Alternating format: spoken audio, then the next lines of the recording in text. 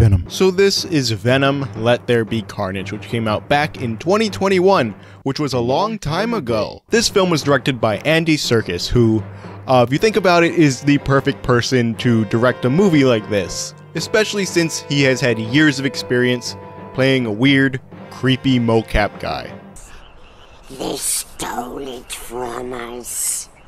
Sneaky little hobbitses. And I do think, unlike a lot of other people for some reason, um, that this is the best Venom movie. As of recording this, I have not yet seen Venom The Last Dance, but I do think that this is a slight improvement over the first movie. Sure, the plot doesn't make any sense, and it's a little too short, and they didn't do Carnage very well, but uh, it's goofy, and it knows exactly what kind of movie it is. What it is is a gay alien rom com, which we support on this show, and if you don't support that, leave. But how many kills can we find in Venom's second movie? Well, let's get to the numbers and find out. The film opens in the scariest place in the world, California. More specifically, St. Estes Reform School. Set in the past, we meet a young Cletus Cassidy, the crazy haired serial killer from the post credits of the first film, and his girlfriend named Frances Barrison. Unfortunately for the two lovebirds, they're gonna have to move their relationship to long distance as Barrison is about to be transferred somewhere else. As she's being transported, she reveals that she's got some super screamy superpowers and causes the truck to flip. Holy shit. She uses her powers against a guard named Mulligan, played by Sean Delaney. He fires a shot at her, which seemingly kills her. Cut to the Ravencroft Institute, where it's revealed that Barrison actually survived the encounter and her powers are currently being tested. We then move on to San Francisco, where we catch up with Eddie Brock and Mulligan, who's now a detective. Here we learn that Cassidy only wants Brock to interview him so that he can get his story out to the public. Turns out he's got some bodies hidden around the area the police force has been unable to find. Venom isn't the biggest fan of Mulligan, but luckily Brock stops him before he can get the chance to add him onto the count. Eddie then agrees to interview Cassidy for the greater good. We then cut to San Quentin prison where the interview is going down and unfortunately Cassidy's hair is nowhere near as cool as it was in the post credits of the first film. There's a lot of nonsense being thrown around here and Eddie's pretty much given nothing to work with besides a nice little haiku. Aww, that's really f***ed up. Before he leaves, however, Venom demands Eddie to take a look at the inside of Cassidy's cell, where he's been drawing all sorts of up shit. Back at their apartment, Venom gets to work and begins to draw out what he saw in Cassidy's cell. For being a psychotic alien, he's actually got a pretty good career in art ahead of him. However, Eddie's having a little bit of a hard time understanding what Venom is getting at. Oh, I know this one. It's a tree. It turns out that the drawings were clues of where the hidden bodies were. So, they go on down and recover them. We see two dead bodies getting carried out here. Uh, we don't know what exactly happened to them, but uh, it, pro- it probably wasn't very nice. The recovery of the bodies influences the judge and governor to reinstate capital punishment, and Cassidy is given the death penalty. This seemingly pisses everyone off except for Brock, who's now back on top, baby. Back at Eddie's apartment, we learn that they got some new roommates two chickens named Sonny and Cher. Also, Venom's just been a bit hangry lately. He needs human brains to survive. But Brock has completely forbade Venom from meeting anyone, including bad guys, so as not to be caught with murder himself. The only other thing that can somewhat satisfy Venom's hunger is good old chocolate. So the duo go down to Mrs. Chen's shop to get some, only to find out that they're completely sold out. I am happy to eat, Mrs. Chen. No, no, you cannot eat, Mrs. Chen. Thankfully, that doesn't happen. Instead, Eddie forces Venom to indulge in some chicken brains, much to his dismay. Luckily, though, Anne, Eddie's ex from the first film, gives them a call which immediately lifts Venom's spirits. It sounds like there's a chance Eddie and her can fix their relationship. Anne and Eddie meet up at a nice restaurant where she reveals that she's engaged. Congratulations. Thank you. That was going to be us, Eddie. Anne herself has got a pretty keen eye and realizes that Venom actually survived the events of the last film and is still with Eddie. She tells Venom to take care of Eddie. The next morning, depressed and wanting to make his other half feel better, Venom prepares Eddie a nice breakfast. While Venom is working on that, Eddie finds out that Cassidy has sent him a postcard. Here, Cassidy invites Eddie to his execution and reveals his backstory in an incredible yet disturbing animated sequence. Here we learn that he pushed his grandma down the stairs and electrocuted his own mother. Holy shit. Eddie, for some reason, thinks he should go. Uh, I, am not sure why, and neither does Venom, but uh, they, they still go anyway. Here, a guard tells Eddie not to touch the bars and to stay at least two feet away from him. So with that subtle little bit of foreshadowing out of the way, Eddie and Cassidy meet up once more. Cassidy begins to taunt Eddie and reminds him that he not only drove Anne away, but also reveals that Eddie's father blamed him for causing the death of his mother during childbirth. Now, since we don't see this, uh, I'm not putting it on the count. Sorry. Venom, protective of his other half, attacks Cassidy which drags Eddie to the bars. Cassidy, in retaliation, takes a good old chomp of Eddie's hand, but Cassidy is shaken by what he tasted. I have tasted blood before, my friend, and that is not it. He watches as the blood on his finger comes alive and eats it. Back at the apartment, Venom and Eddie get into a huge blowout fight. Eddie rants about how he can't live a normal life with Venom around, and Venom vents about his own hunger and lack of freedom. I love the performances here actually. It's incredibly goofy and campy, but it works really really well like within the context of the film itself. And it's also incredibly interesting as to how it was done. During rehearsals, Tom would go off on his own uh, and record some lines as Venom, which would be edited and played back to him through an earpiece when they were filming, um, as explained here. I've got Tom's dialogue pre recorded right here. And basically, what I can do is I can highlight, and then I'm basically editing. I'm chopping up lines uh, bit by bit, putting them on a pad here, adding some effects, and then uh, when all is said and done, time to die. So someone is literally puppeteering Venom's voice into his ear and timing it, and so they're, they're kind of act, doing the acting in a way. The two end up fighting before Venom and Eddie quote unquote break up and part ways, with Venom leaving to take over some new bodies. Now, uh, I have no idea if these guys die um, but we're, we're just not going to count him because I said so. The filmmakers wanted Venom to feel like an oversized toddler just throwing a massive tantrum. And uh, yeah, yeah, I think they succeeded. Meanwhile, Cassidy is about to be executed. But because of that weird blood he ingested earlier, something else takes over. There's a moment in the behind the scenes filming of this where Andy Serkis tells everyone to run. Shot! Run, run, run! Uh, and and I don't know. I just love how enthusiastic and passionate Serkis is um, for this project. It just it brings joy to my my my soul. He transforms into a symbiote of his own named Carnage and kills a guard and five other spectators. And then, as if that wasn't enough, he kills two more guards with a nice tentacle stab.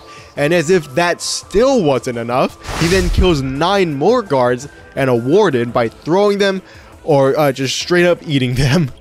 He also turns into a Beyblade.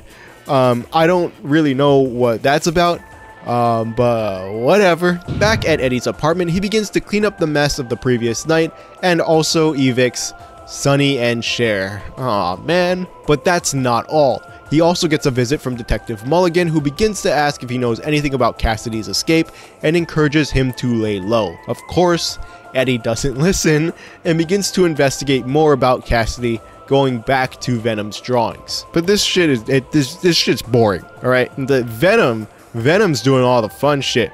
And okay, and, and before you tell me, okay, before someone in the comments tells me, hey, isn't that guy dead? What, you never been to a club before? Huh? You, you never see this happen? You've never seen this happen before. Uh, uh, let me tell you, this is a common occurrence. Okay, this is this is a normal normal night for them. All right, this is he's he's fine. He's he's totally fine. You you loser, never been to a club before. What do you what do you what are you under under 21? Lame. Go just get, just get older. Also Venom goes on to say this. I am out of the Eddie closet. Meanwhile, Carnage and Cassidy kill a fancy looking guy and steal his clothes and his car. They then begin to explain their motivations. Carnage wants to kill the one who made him, and Cassidy wants help finding Frances. Carnage agrees, and the two kill a random truck driver.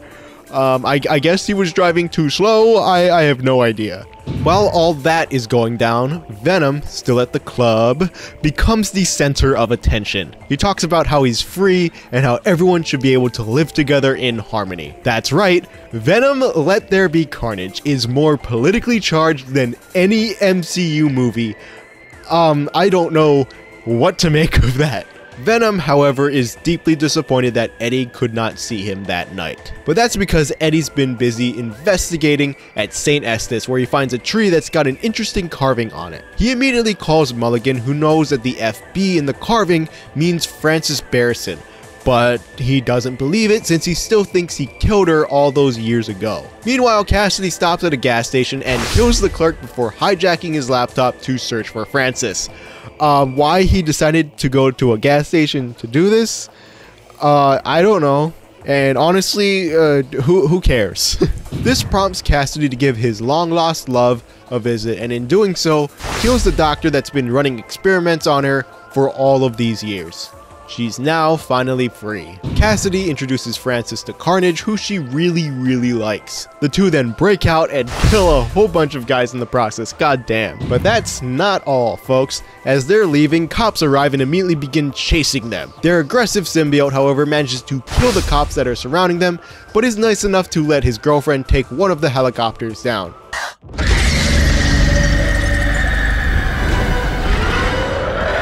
Oh, shit, that's right, sy symbiotes hate sound. Venom has made it to Mrs. Chen's shop, the one place that he knows he can get something to eat. He desperately needs Eddie. But now Eddie's been brought into custody by Mulligan. He wants answers about what happened with Cassidy and why people are seeing a monster whenever he goes on a rampage. But Eddie refuses to answer and demands his phone call. Of course, he calls Anne, who wants to talk with Venom, but he's not there.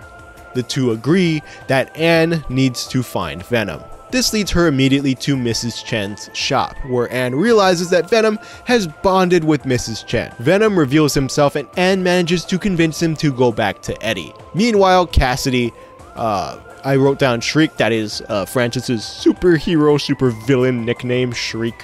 Um, that's the only time I'm calling hear this in this video, I guess. And Carnage. Uh, they they all burn down the old Saint Estes school and begin to plan their wedding. The trio agree that they want to invite the most important people in their lives: Detective Mulligan, Eddie Brock, and Venom.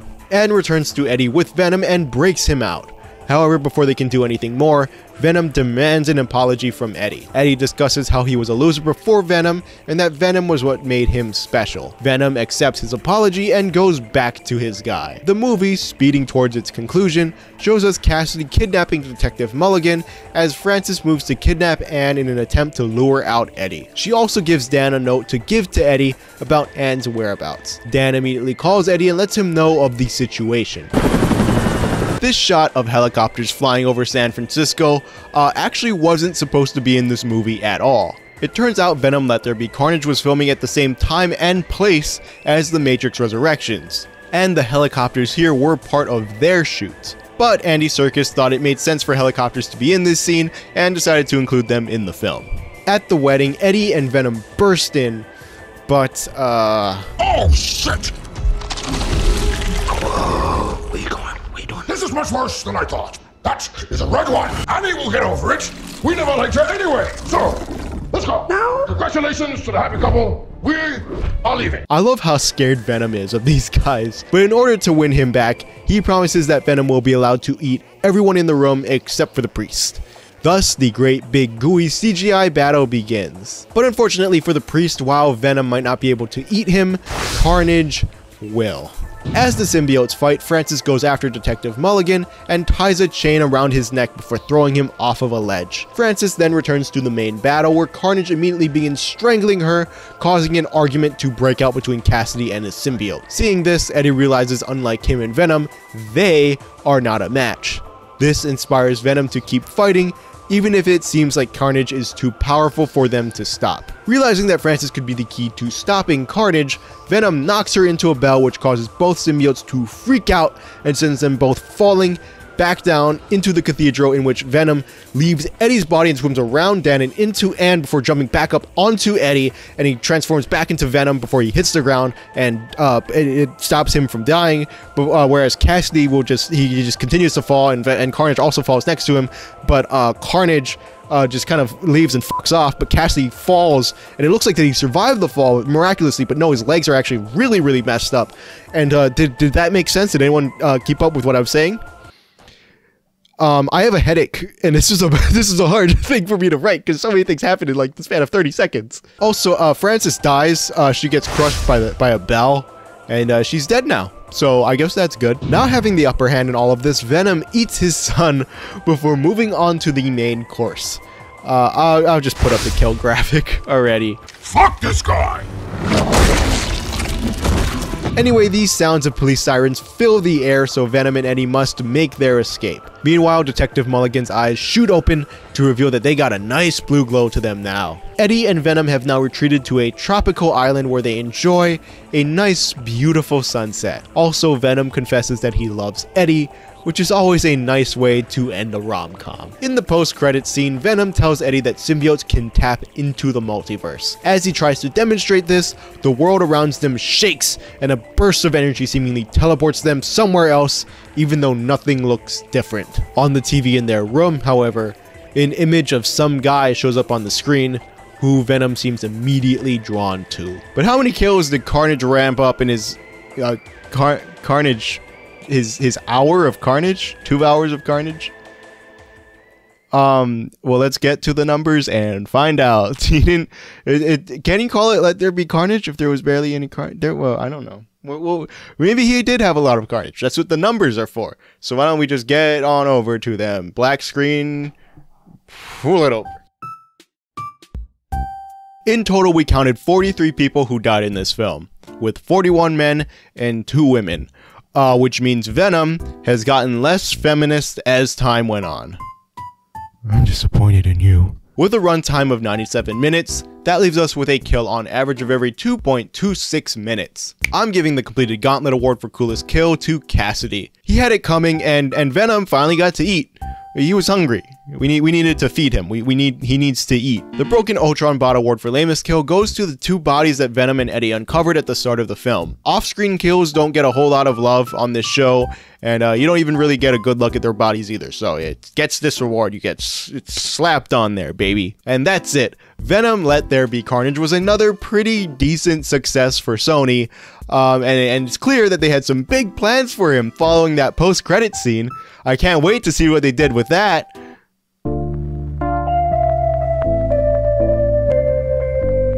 Um, but yeah, um, I, it, sorry it took long, but uh, hey, thanks, thanks for watching it. I guess I appreciate it. As always, I want to thank my sister for counting the kills, and I want to shout out Dead Meat because this is their idea, and I took it and I'm running with it.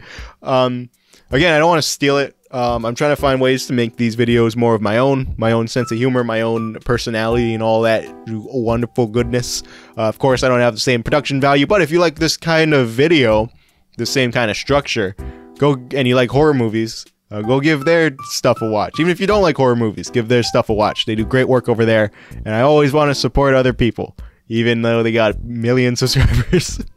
they still deserve some support, and hopefully I can drive some more traffic over there. So, yeah, just keep keep it moving.